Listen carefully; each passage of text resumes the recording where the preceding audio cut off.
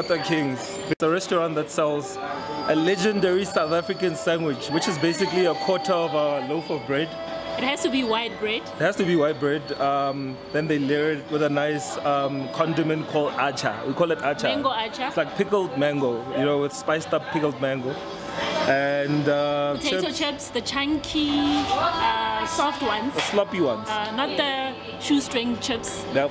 And then you can add extras like eggs, uh, polony, cheese, uh, Russian sausage. Yep. So, so we're gonna check it out and see what these guys these guys are doing. These guys have basically bougie-fied the kota and they've got all sorts of interesting feelings for it. No, we're gonna go through the whole experience and let you guys how it all went down. Uh, most importantly, how the food tastes. That's the most important thing. But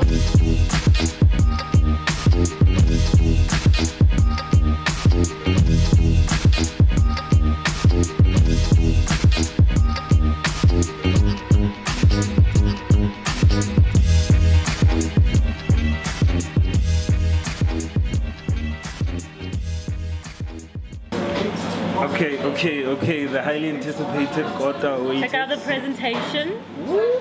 Looks good, hey? With at the that, parsley garnish. Look at that. And of course, their twist, as you can see, they use panini bread instead of um, a quarter of a normal half loaf of bread. Okay, he's digging in. Let me dig in. What's your quarter? What's Mm. I've the got, filling? I've got the, the traditional one with the Russian and the cheesy, cheesy bits inside. I like the egg. It's very Runny? it's square. And of course, the chunky chips. Uh, they call it slab chips. No? Okay. So let's dig in the traditional way.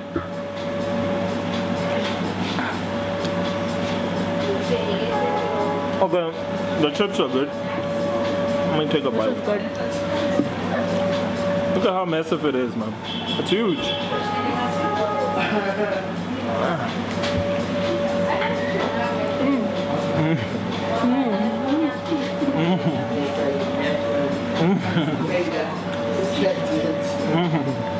have to open your mouth wide open.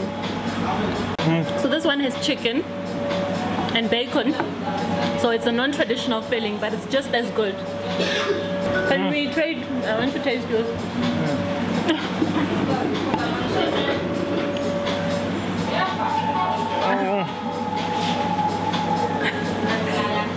and the bread is very fresh. Guys, what can we say? It's good quality ingredients. You can't go wrong with good quality ingredients, you know? And Fresh. initially I was a bit like skeptical about the panini thing, but it actually works. It it works. Um, It definitely works, and you don't even um, you don't even taste the difference really, because the focus is the fillings, you know, and the fillings are traditional. I mean, a Russian sausage, the chips are perfect, and they've got sauces, so this is delicious. It hits the spot.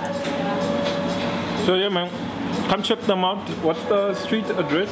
Juta number 94 Juta Street in Braamfontein. in Braamfontein, man. Come and check these guys out. They're doing amazing things. Um, shout out to the kitchen as well. The chefs there are doing their thing. The proof is in the product, you know, and we can't fault it really. Um, yeah, go check them out. Kota Kings, baby. That's what's up. Special Kings.